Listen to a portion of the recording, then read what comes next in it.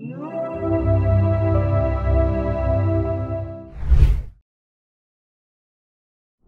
you agree that in order for these things to be healed, they have to be brought into the light because they've been completely underground. I mean, all of this stuff, you heard whispers, but you never brought it into the light that everybody all of a sudden started seeing that. And it's happening at such a rate now. Like it's insane. I mean, even something like racism was was always under. I mean, in America specifically, it's always been there quietly, but now it's just like things people say out loud. Now you would like 10, 15, 20 years ago, you would have like, don't say that. Don't, don't, you can't say that out loud. But now everyone's saying it up because of bringing it out into the, to the light so it can heal. Is that, is that fair?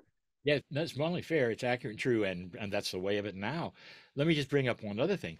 It, and we use metaphors a lot so people will understand. Mm-hmm um, when you uh, turn on the light in a place that's been dark for a very long time, you see all the dirt, and you know, and a few cockroaches come popping out and things like that. Especially when you've had um, uh, darkness and you've never had light and it's been there and you've never cleaned it and whatever. That's just what's going on. So, what happens when we have light start to appear on our planet is that it exposes all of the ugly stuff that, as you pointed out, has always always been there. So it uh, to some people, they look at only, oh my goodness, this planet is going down the tubes. Look at all the ugly stuff that we're now starting to see. And I would say it's always been there. Aren't you happy now that we're starting to see it so we can do something about it? So there's there's two ways of seeing it, you know, the glass half empty or half full.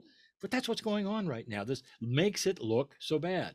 I think that um, this war that we're having, and unfortunate, uh, sad and heartbreaking, may be the last one we have like this, because the Earth is looking at it and and and reacting to it, saying, "No, not again, never. We're not going to pull us back to the 40s. We're not going to pull us back to the Cold War, no matter who's in charge or what they want. It isn't going to happen." And that's that's a new Earth, and that's what we're talking about. Yeah, it's it's it's fascinating. I mean, he's you know Putin is doing things that it's out of the playbook of the the 40s and the it 50s. It, it's literal playbook stuff that they're doing. And I'm sitting there going, this this doesn't make any sense. Like, right. and I'm not the only one, apparently. The rest of the world is going, this doesn't make any sense. Why are you doing this? Well, now you mentioned his name. Yes. We've been to Russia eight times. We yes. Ukraine twice. We met all of them. Uh, oh wow. We've met. And uh, you know, they're the Russians are beautiful people. I, I think huh. they've been uh, hoodwinked. And I think when they find out the lives that have been lost there, they're not going to be happy with their leader. This is not the Russian people. This is Putin. And right. um, they have no choice. At the, I mean, he is in control completely. And so my heart goes out to them too. And I hope people understand the difference uh, when they take a look at who's doing what and why. And uh, I'm I'm Cuban of of Cuban descent, and I, my people have been hoodwinked as well. you know, out of out of many, there's a handful of countries that have been hoodwinked, and that's that's another one as well. So, but all of it's starting to come out, even in a little island like Cuba. Things people are even starting to go, no, no, no, this we can't keep doing this. And there's uprisings now where 20 years ago that's never even heard of. It's happening. How about an uprising of women in Iran? I know. you go, oh, like I mean, this is you talk about heroics. Jesus, I mean, I know. I mean, they're they they they execute them there if they don't behave. Right. You know, there's no choice. You know. And now there was an upright, and there you're right. There was protests, and the women yeah. went to the streets. Like this is enough. God bless them, and but they they are the heroes of our time. What just, do you? Just what you're talking about.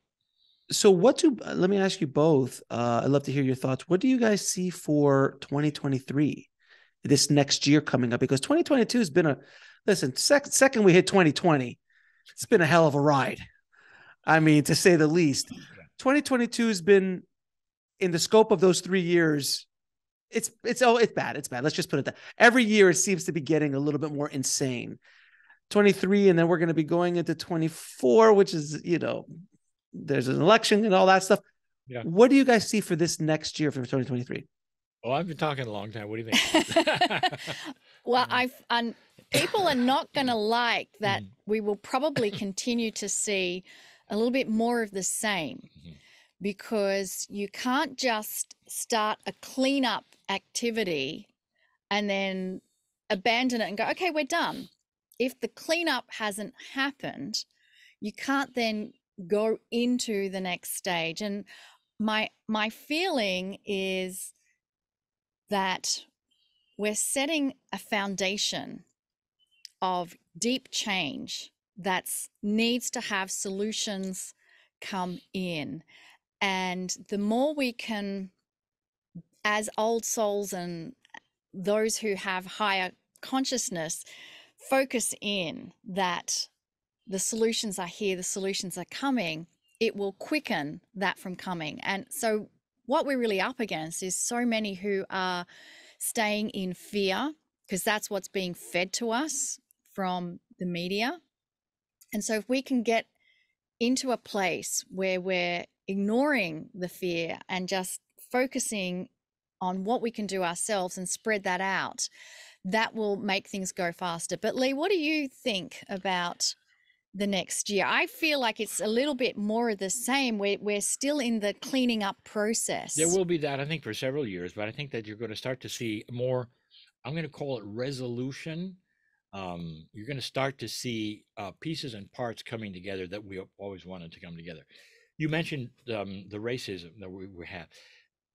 One one of the things that must be frustrating and heartbreaking to those who have been uh, put upon like this uh, uh, in America specifically is that every time something awful happens and there's a reaction and all, it just goes back to the way it was.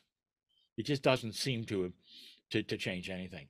I think that is going to start to be resolved. I think we're going to start seeing um, system to vet the police at the at the level of uh, when they come into the force, um, where they may there may be a, a, a, jury of people who just ask them questions to see if there's a racism there, some something in order to see to change it, rather than it just words from a politician that say we're going to do this and this and it's going to get better and it never does. That is a form of resolution. I think we're going to see resolution in the war. Uh, I think we're going to see resolution with Putin. And I'll tell you what's coming there, but you'll see. And there's going to be all manner of things like that that say, hey, we're making progress. So, yes, the stuff will still continue, but I, I think it's starting to turn so that we're going to start seeing some things that we didn't expect. And the other thing, Alex, that I want to add into it is that mm.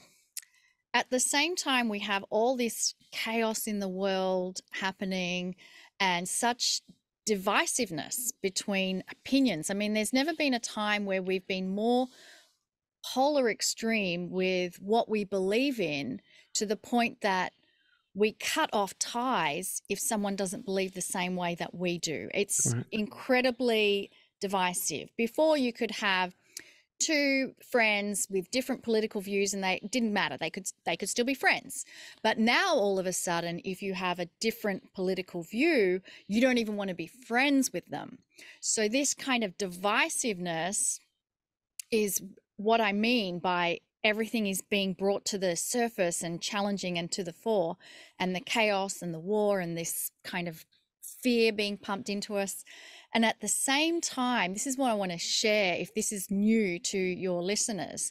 Part of the messages from Kryon is about coming solutions on the planet.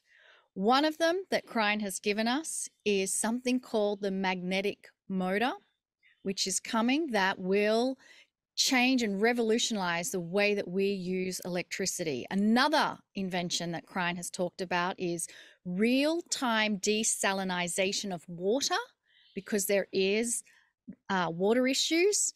Another one that Kryon has talked about is the ability to produce agriculture. And so you start looking at just those three things changing how we have electricity, changing the availability of water for everybody, and food that is going to have such ripple effects through our society. And so it's so interesting that on one hand, there's this kind of chaos happening, and at the other, there are all these incredible inventions that are on the cusp of being released. And that is not what's being pushed in the news, but definitely through mm-hmm. the channelings that Lee has been giving through Kryon, that is on the horizon. To watch the full video, click on the link below. And don't forget to subscribe.